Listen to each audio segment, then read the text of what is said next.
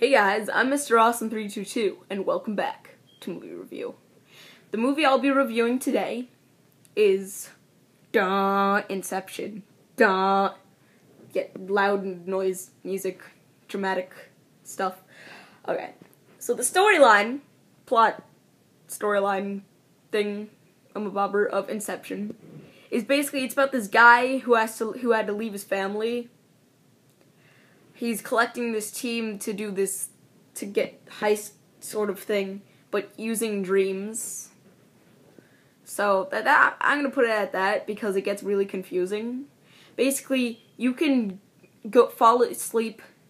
There's this thing they like drink passing out stuff, and they're connected to a system. So they all see each other in the same dream of one host, and that person stays awake. I think I don't know. No, no, no, I don't know, something like that.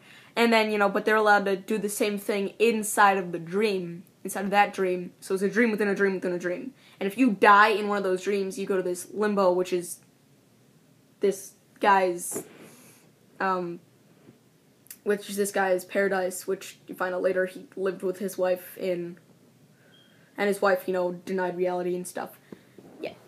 Okay, so the plot, it was, it's a good plot. It's a good plot. I like it. It's confusing if you don't watch it like three or five, seven hundred times. Uh, the ending, the ending, I like the ending because stuff, happy stuff, sol- problem solved stuff, not problem, you know, stuff.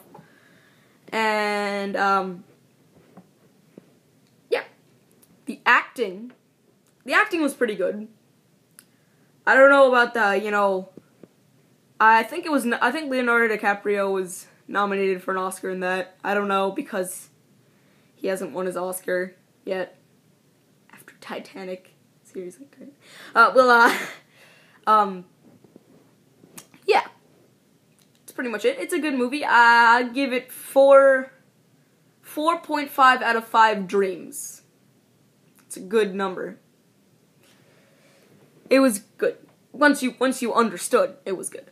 So, yep, that's that's it. I'm Mr. Awesome322. This was movie review.